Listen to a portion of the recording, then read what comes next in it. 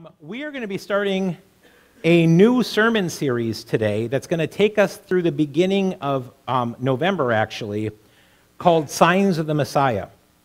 Um, and I'm, I'm, going to be up front about um, where the title came from, give credit where credit is due. Um, so I'm in a PhD program through Midwestern Baptist Theological Seminary, and my, uh, my emphasis is in New Testament, specifically the Gospel of John. And that's what we're going to be spending the, the fall looking at is um, the Gospel of John. And I didn't know this when I signed up for the program, but one of the professors there is a, a, a professor by the name of Dr. Andreas Kostenberger, and he is an expert in the Gospel of John. He's one of the kind of the two premier guys in the Gospel of John. D.A. Carson's the other one, and he studied under D.A. Carson, so it's a thing. Um, but he just put a book out called Signs of the Messiah. This is my plug for it. Um, it's very good. It's very small. It's an introduction to the Gospel of John. Um, that's where I took the title from. I'm just going to give credit. Uh, and some of the stuff we're going to talk about this week is, is from the book. Going forward, it will be less so, but um, he kind of talks about the importance of signs in Scripture, which is what we're going to talk about as an introduction today. So um, we're going to pray, and then we're going to dive into kind of our topic. And this is kind of an introductory sermon, which is always a little tricky because it's a sermon talking about what we're going to be doing in sermons coming up. Um, and, uh, and yet it's going to lay groundwork and give us a big picture, kind of so what for why, why do we even want to look at this. So uh, let's pray and dive into God's word for us today. Heavenly Father, you show yourself to us in various ways and at various times, but most clearly through the person and the work of your Son, Jesus. Help us to see who you are, to see Jesus for who he is, and to see ourselves and the world around us through that lens. Show us your truth. Speak to us through your word. May your spirit be our teacher and guide us into all truth, as you promised, Lord Jesus. We ask all of this in Jesus' holy and precious name. So, we're going to be spending some time talking about signs. And um, I'm going to just start out with a question, which is Have you ever asked God for a sign? And that could be like, If you want me to do this, Lord, show me, give me a sign. Or, or if you're real, God, give me a sign. Um, and these are somewhat rhetorical questions, but I really want you to think about this. And if you did ask God for a sign, did He give you one? Did he give you, did he, did he, you know, when you're looking for direction, did he give you that direction? Did he, um, you know, did he, if you're, you're saying, make yourself real to me, did he do that? And what was that sign and how did it help you? Or maybe you're the kind of person that, like, I don't, I don't look for signs. I kind of question that. That whole thing seems a little odd to me. Um, that is completely legitimate as well, by the way. Don't think that you're somehow unspiritual if you're like, I don't know about signs. Some people see signs in every, you know, in everything. They're like, I, you know, I, I only drank two cups of coffee today. I'm pretty sure that means the Lord wants me to do this. I'm like, what is that? You know, like sometimes we're just stretching, right? And other times, you know, maybe God is trying to get our attention with something and we're just not paying attention. Um, Paul, the Apostle Paul, talks about this and we're not going to get in deep on this, but he says in 1 Corinthians 1.22, Jews demand signs and Greeks look for wisdom. And if you look at culturally and historically, this is unbelievably true. Um, Jews and people that are kind of Eastern in their thinking, signs are important. Um, if you look in the Muslim world, more Muslims come to know Christ through signs and dreams and visions than any other way because they're open to that. If you hear in the mission field the idea of miracles and things like that happening, happen more, much more often in non Western countries than in Western countries. Why? Because it means something in that culture. We're Greek. We're Western. We are like, we are Western through and through. And so sometimes we don't look for signs, or, or if there are signs, if there is something miraculous, we kind of maybe try to explain it away. We want to understand how does that work? I remember years ago speaking to a, um, a Greek Orthodox priest, and we were having a, a, a, theological conversation. It was for a class I was taking. And I asked him, Explain to me your view of the Trinity. And he said, Oh, God is three persons, but fully and eternally exists as one perfect God. He is Father, He is Son, He is Holy Spirit. I'm like, okay, so how does that work? And he goes, I don't know, it's a mystery. And I'm like, well, no, no, no, no. How does it work, though? And he said, I don't have an explanation for it. It's a mystery. And if I could explain it, then I think that it might diminish who God is. The fact that it's mysterious is somehow tied to the fact that it's from God. And my Western brain does not like that answer. Now, I'll be honest, as I've gotten older, I've been like, I like that answer. it's a good answer. But we want to explain it, right? Oh, it's like an egg. It's like, you know, we use all these analogies and we can't quite wrap our head around it. That it, there is that mindset. So keep that in mind, but also keep in mind that as we look at the, the text we're looking at here, especially as we look at the New Testament and Jesus' ministry, he is overwhelmingly dealing with a, a Jewish audience that literally doesn't just say, signs mean something to us, they demand them. They don't just ask for them, they demand them. If, if this is true, we need some active power to show us that it's true. Throughout Scripture, God has used signs as a means of communicating truths to people. And I want you to think about the word sign the way that we use the word sign currently. I know we think about signs in the Bible and we might be like miracles. Okay, get that out of your head for a second because that is not the way the Bible uses the word sign. Now, it's true that miracles fall under the category of signs at times, but a word, the word sign means what in the modern world? It means something that gives you information or something that points you in the right direction, right? So, detour, this way, that's a sign, right? We have a sign that says 55 mile per hour speed limit. That's a sign, it gives you information. That is exactly what signs are in the Bible. They are things that point us to some truth, that gives us information, that shows us something, or maybe the way to go, or it, it give, it's, it, the whole idea is signs point to some truth, they give information. And throughout Scripture, we see this. Gideon asked God for a sign twice, actually. And the sign was God, if you are really calling me, Gideon, to lead your people, to deliver your people from the hands of our enemies, give me a sign. The sign was, Is the fleece dry or wet? By the way, was Gideon asking for a sign because of Gideon's great faith in God? No, he was asking for a sign because he didn't want to do it. And when God gave him the sign, he said, ah, I'm not quite sure that I heard from you right, God. Do it again, but do it the opposite way. It was actually a sign of a lack of faith on Gideon's part, not a sign of faith.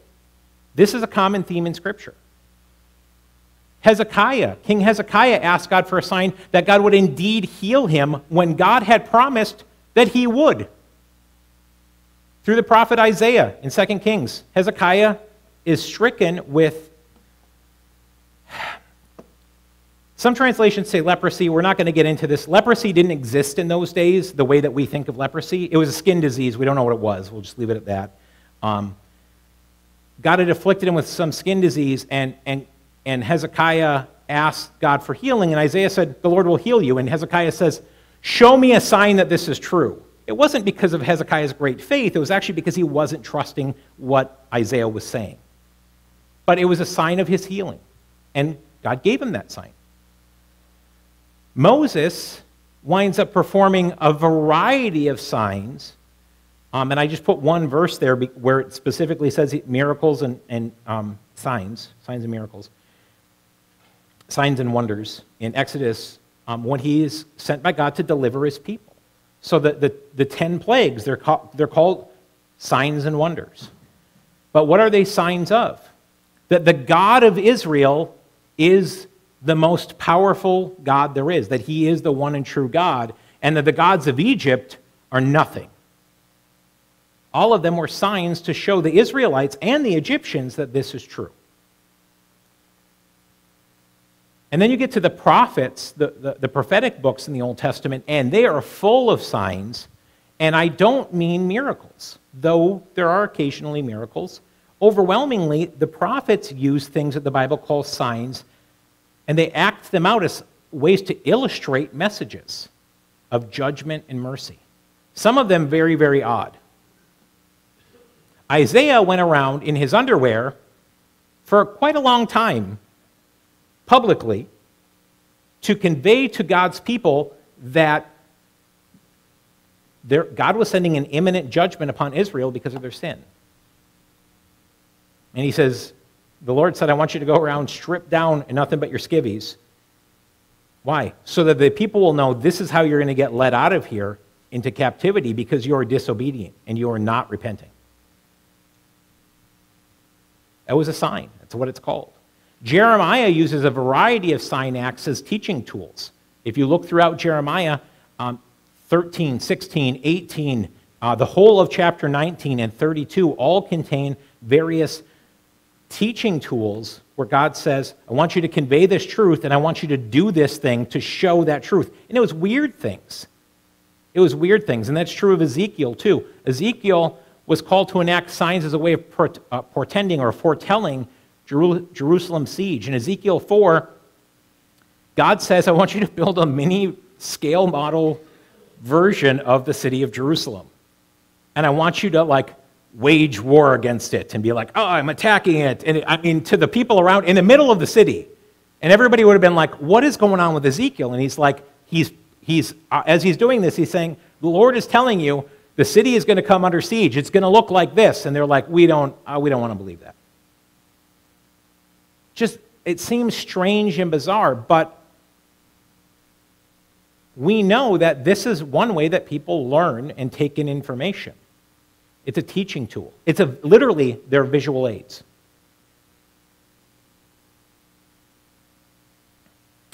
Throughout Scripture, the overwhelming purpose of signs is to point people to the truth. Whether that be a teaching aid, some kind of miraculous occurrence, or foretelling an event. I didn't mention this one, but Isaiah, in Isaiah chapter 7, probably the one that we are most familiar with in the prophets, King Ahaz, who is a corrupt and wicked king, says, uh, uh, Isaiah prophesies and said, These two kings from uh, Israel and Samaria are they're, they're gonna not going to overtake you. Don't worry about it. Don't worry about it. And God and um, and Ahaz says, I don't know, I don't know. And he says, Well, Isaiah says, then ask the Lord for a sign. And Isaiah and, and Ahaz is like, Oh, I wouldn't, I wouldn't dare to put do that to the Lord. And he's like, Fine, God's going to give you a sign. That young woman over there, she's gonna, she's gonna have a child. She's gonna give birth to a son. And he will be called Emmanuel. And before he's old enough to know right from wrong, to eat curds and honey, these two guys that you're worried about, these smoldering stumps, he calls them They'll be put out. They'll be taken away. God will deliver you from them. But he will bring Assyria upon you. That's the original meaning of the virgin will be with child, give birth to a son, and he shall be called Emmanuel, God with us. It was a sign for Ahaz that God would do what he said. Again, not something that was happening because of his great faith in the Lord, but actually because of his lack of faith. He was like, You need more than just me to say this, right? I'll show you. I'll show you that it's true. And the result of signs in Scripture should be, should lead us to a greater faith in God. It might be a, a, first faith. Maybe it's coming to know the Lord for the first time. Maybe it's, I, I trust in the Lord, but I'm struggling in this, and now I see this sign, and that encourages me in my faith. That is what the intent is. That is the result, but that doesn't always, isn't always the case.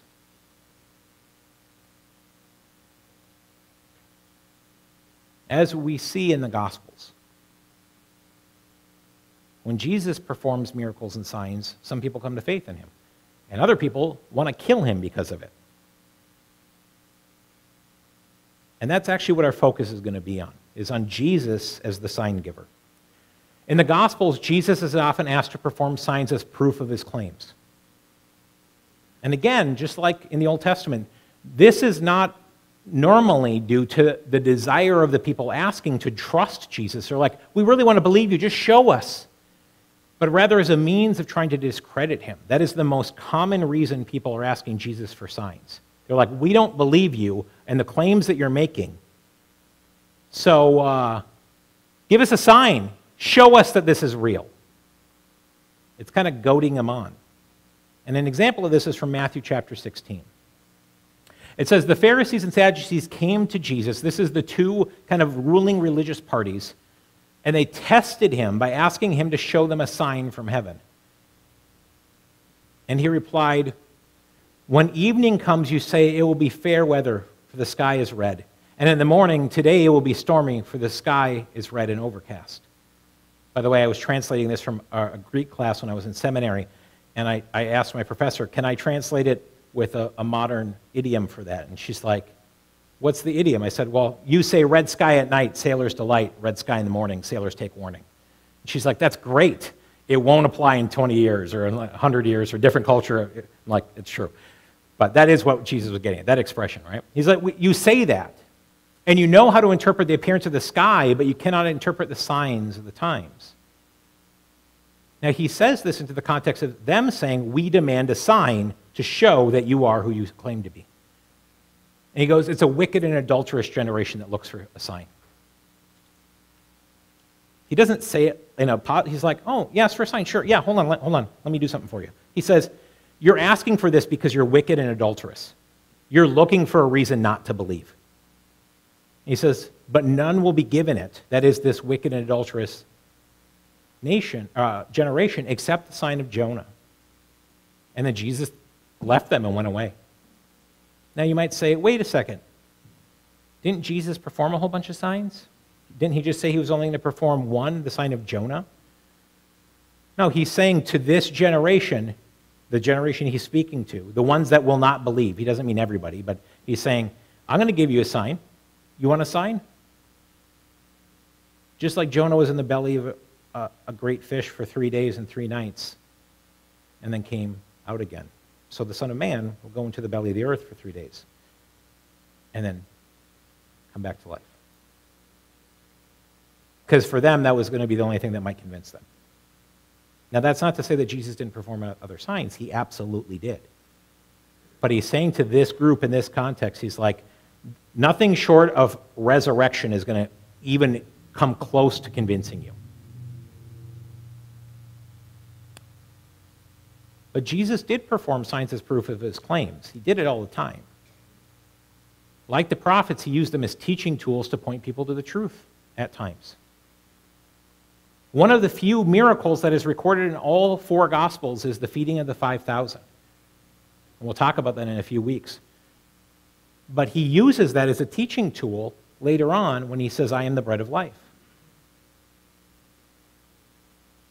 And like Moses, he used them to display the power of God at work through him. In fact, they said, Moses, in that particular example, Moses gave us bread from heaven. Can't you do the same thing? You've got to be at least as powerful as Moses.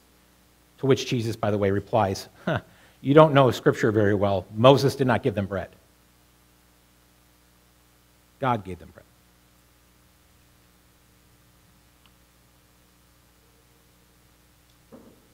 And in this process of using these signs as displays of power, Jesus brings about deliverance, healing, and even warns of judgment. Just like the prophets, just like Moses. Now, Jesus' use of signs is actually displayed the most clearly in one section of the Bible which is the Gospel of John. Overwhelmingly, the Gospel of John has more references to signs than the rest of the, the Bible put together. The term sign, in Greek, the word is semeion, if you care. Um, it appears in the other Gospels, but infrequently.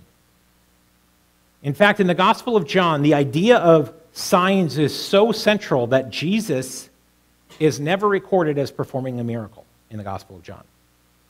Now, you might say that's not true. He, he performed miracles, he raised Lazarus.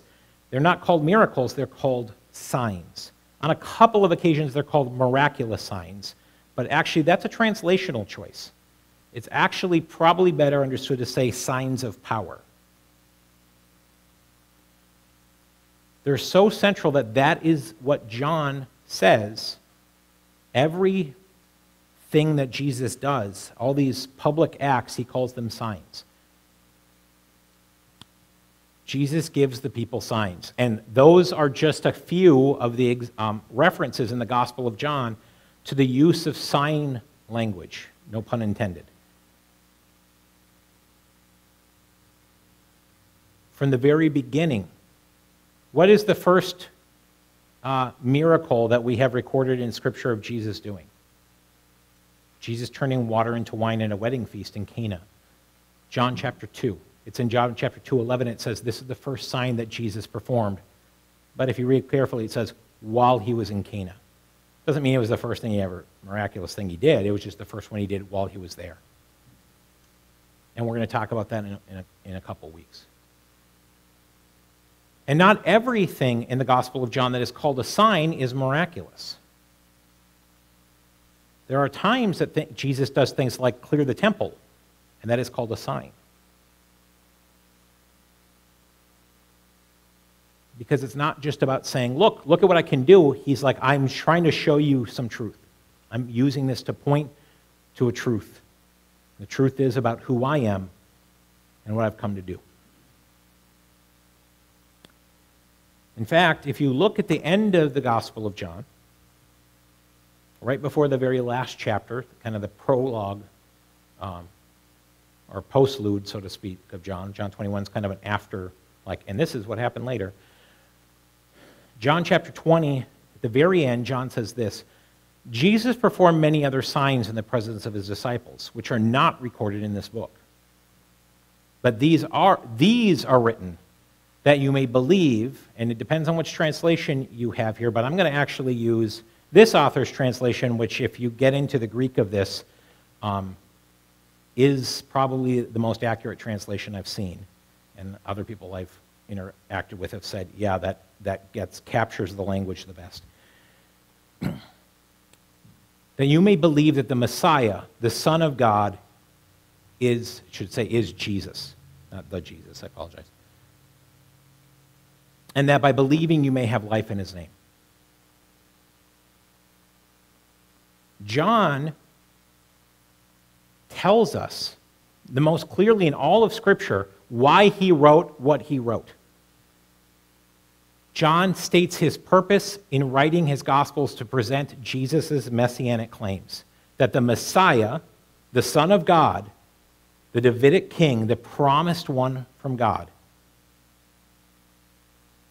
is Jesus. And he uses signs as evidential proof.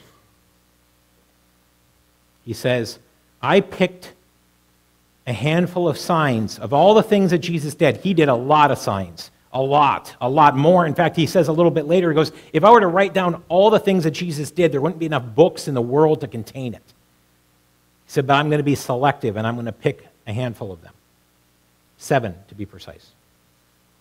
And there's an argument that there's eight, but we'll talk about that when the time comes. Pointing to the fact that Jesus is who he claims to be. That, that if you look at this, these signs, they point to who Jesus is.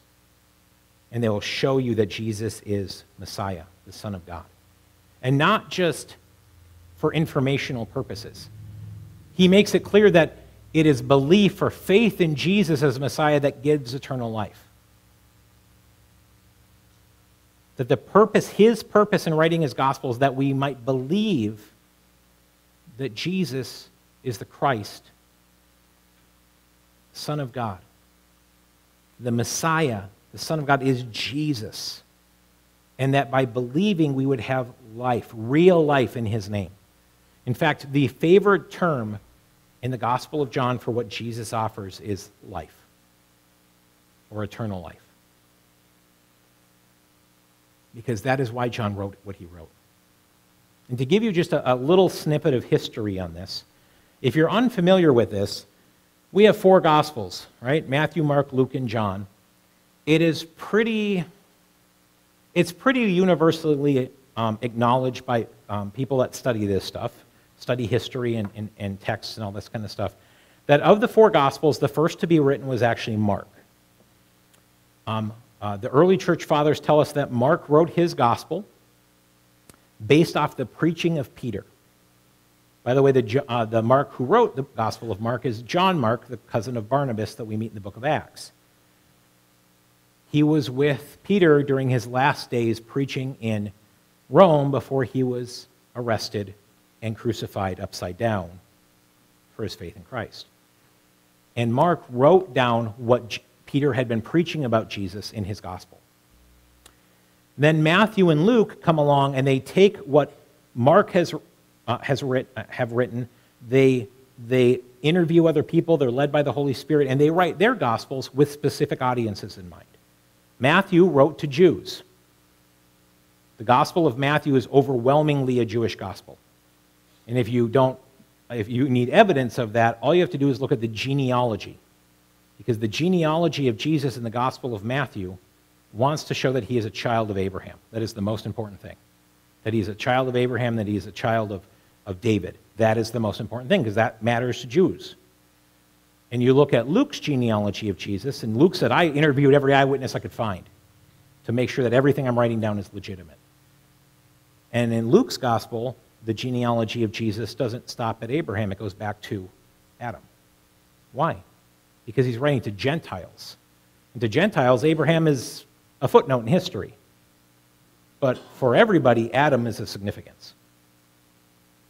You'll also notice if you read Luke's gospel and you see Jewish things being described in great detail, you'd say, well, that would tell me that it's written to Jews. No, it doesn't. It means it's written to non Jews. You don't have to tell Jews what Passover is, they know. You have to tell non Jews what Passover is. So Luke goes into the, the point of explaining it to the non Jews reading his, his work. And you're like, that's all interesting. What does that have to do with John? Well, interestingly enough, John was the youngest of Jesus' disciples. Um, it is, it is uh, kind of guessed that he was somewhere between the ages of 14 and 16 when he started following Jesus. He was also the last of the disciples to be alive.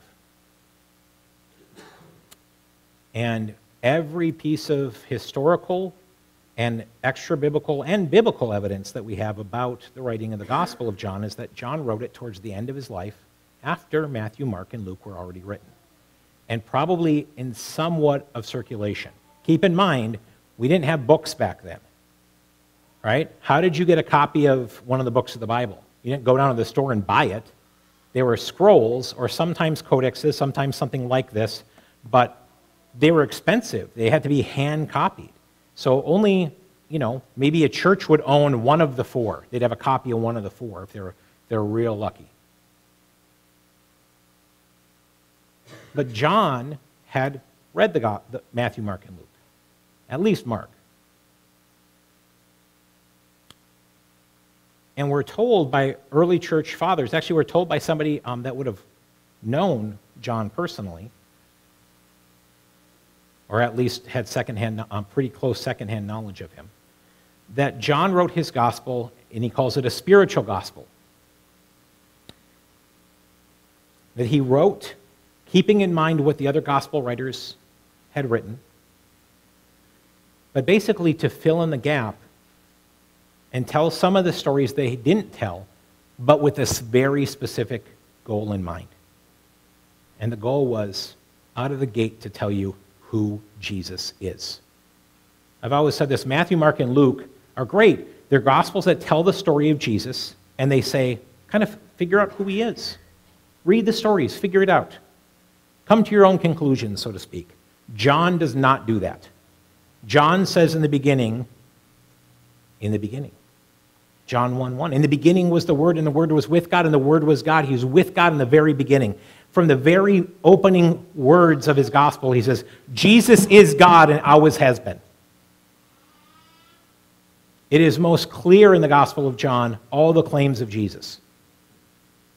And then John uses all of the signs of Jesus to say, look, they, they show us for, for certain that what he is saying is true, that what he is saying is true. His gospel was written to show us the truth, uh, show us that truth, that eternal life comes through belief in Jesus, in both the person and the work of Jesus. In fact, in John chapter 14, verse 11, in part of the farewell discourse, Jesus says, Believe me when I say to you, uh, when I say that I am in the Father and the Father is in me. Or at least believe on the evidence of the works themselves. The works there is very clearly an evidence to the, the, the signs he's been performing. He says, If you don't believe me, and he's talking to his disciples, at least you've seen the things I've been doing. If they don't point to who I am, then don't believe me. By the way, an interesting note, we'll get into this later, but one of probably, we would say, the most convincing arguments for Jesus' claim to be God is his resurrection of the dead, right? Specifically Lazarus, right? That's like, that's like, no pun intended, the nail out of the coffin, right? And yet it's, the story of Lazarus only appears in the Gospel of John. It does not appear in Matthew, Mark, or Luke. There's a historical reason probably for that, and we'll talk about that when we come to that. But John wrote what he wrote to point us, to give us evidence, to give us proof that Jesus is who he claims to be. So that's John's purpose. Our purpose, why are we going to be spending the next couple months looking at this? Well, we're going to spend the next few months looking at, at the seven signs that John lays out for the identity of Jesus. And these, these are the signs that that the Gospel of John clearly says are signs. Uh, turning water to wine, we'll talk about that in two weeks. Clearing the temple, healing the official son, healing the lame man, feeding the 5,000, healing the blind man, and raising Lazarus. Those are, those are the seven. By the way, um, if you know this or not, the Gospel of John is the only gospel that also talks about Jesus walking on the water. Now, the other Gospels talk about him calming the storm, but him walking on the water, that happens in John chapter 6. It is not listed as a sign. It is stated as just a matter of fact that Jesus did. And if you read carefully, you know why Jesus walked on water? Because it was convenient. In John chapter 6, the beginning of the chapter, he feeds the 5,000, and then he goes away by himself. He's like, they want to take him and make him king, and he's like, I'm not having anything to do with that. And he goes by himself and to be alone with his father on a mountainside. His disciples don't know where he went. They think he went across the Sea of Galilee. So they get in a boat and they start going across the Sea of Galilee, thinking he's already on the other side. And then Jesus goes down. He's like, oh, they already left. Okay, well, it's just going to be easier for me to walk across the lake than to go around it. So he does and not in a still, tepid lake. He goes across in a storm. And he just walks across and gets in the boat, and they're like, What is going on? And they're like, it's, He's like, It's me, just calm down. Gets in the boat, they're on the other side of the lake. It's, it's, it's like a side story. Why would, why would, it, it just, it, it almost seems bizarre that they don't make a bigger deal about it. John just kind of throws it out. Yeah, Jesus did that too. And at the end, he makes a comment. He's like, man, if I put everything in here Jesus did, we wouldn't have books. We would be, be, every book would be about Jesus in the whole world. Because he did so much stuff. But he says, I'm selecting these seven to point to the truth of who Jesus is. And when we look at these signs, some of which are miraculous, some of them are not, it makes a clear paints a clear image of who Jesus is. Along with that, John tells us that looking at these signs helps our faith. He says, but, but these are written that you may believe that the Messiah, the Son of God, is Jesus, and that by believing you may have life in his name.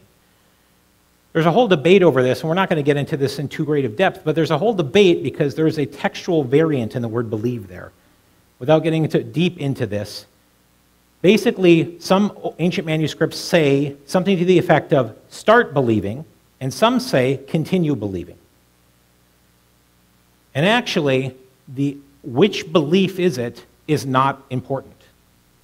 Because the way that verbs work in Greek and all this other stuff, um, John would be like, Why are you splitting hairs about this? Faith is enduring faith or it's no faith at all. Real faith must be enduring faith. So it doesn't matter if it's faith that, it, could be faith where it's the kind of faith where, like, hey, I just started believing in Jesus. It could be faith of saying, I already believed in Jesus, but this is strengthening my faith. It doesn't matter. It's still faith, it's enduring faith. And, and in fact, I would argue that the gospel writers in general don't make this, that distinction that we make. We make this great distinction between what we call discipleship and evangelism. I don't think Jesus makes that distinction. Jesus doesn't say, Come to know me. He says, He doesn't say that to one group and to the other group, You guys already know me. I guess grow in your faith or something. I don't know. No, He says to everybody, Come and follow me. Yeah, but I don't know who you are. You'll figure it out. That's what He did with Peter. He meets Peter and he says, Leave your stuff behind. Come and follow me. I'll make you fishers of men. Peter doesn't know who this guy is. He knows he claimed to be Messiah, but he has no reason to believe that. It's not until almost three years later that Jesus asked Peter, Who do you say that I am? He goes, You are the Son of God. You are the Christ, the Son of the living God. And Jesus says, Yeah, you're right. But you didn't come up to that conclusion on your own. The Holy Spirit gave you that answer. We sometimes make the mistake of saying that there's evangelism, that's talk, telling people who don't know Jesus about Jesus, and then we try to like come to know Jesus. And then there's, then there's the real work of like growing in our faith, discipleship. Jesus doesn't call anyone to anything other than discipleship. Everyone's called to be a disciple. And it might be grow in your faith, but if you don't have any faith, you still got to grow. But we're also going to spend one week at the end of this struggling and wrestling with something that Jesus says uniquely in the Gospel of John about signs. And there our interaction with them. Something that I'll be honest, I think we don't struggle with.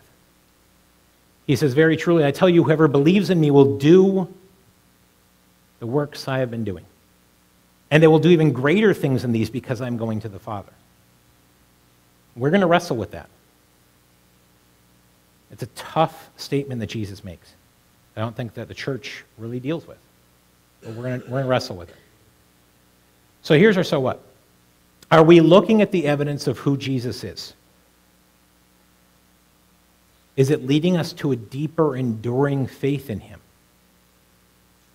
And I, and I would go a step further and say the more that we understand the claims of who Jesus is and understand how the things that he did point to the truth of who he is, it is so much easier.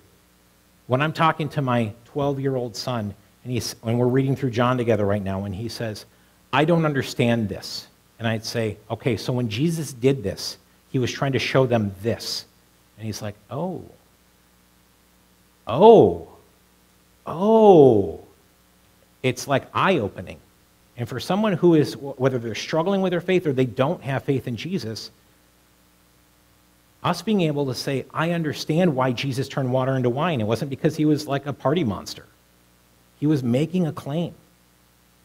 He was trying to show a truth about who he is. It wasn't arbitrary. He was trying to convey to his disciples something is happening in front of you. And they had to understand that to they would have understood that in a way that we might not. So we're going to dive into that to look at what that means. This is our meditation verse for this week. This has become one of my favorite verses as of late because I've been doing a lot of study in John. And so much of John comes down to this statement. But these are written that you may believe that the Messiah, the Son of God, is Jesus, and that by believing you may have life in his name. I want us to chew on that this week. What does that mean for the Messiah, the Son of God, if Jesus is who he claims to be? What does that mean? What does that mean?